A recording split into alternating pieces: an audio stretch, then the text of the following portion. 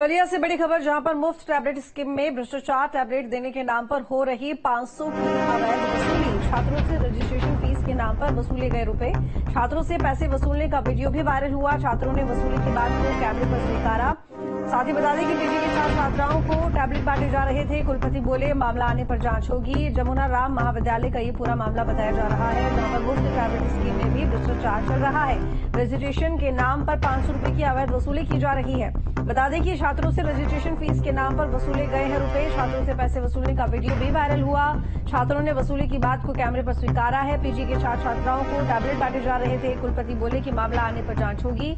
जमुना राम महाविद्यालय का ये पूरा मामला है। है। अच्छा अ, जमुना राम ने इसके लिए कोई रजिस्ट्रेशन भी कराया गया था जिसका हाँ। शुल्क लिया गया?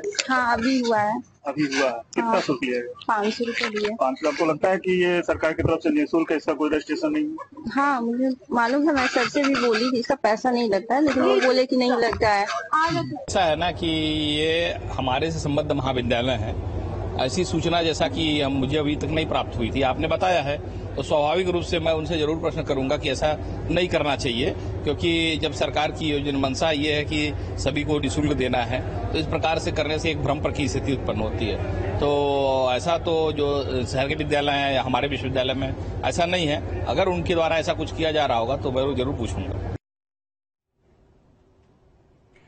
कानपुर में बीजेपी नेता द्वारा पुलिस से अभद्रता करना और एसपी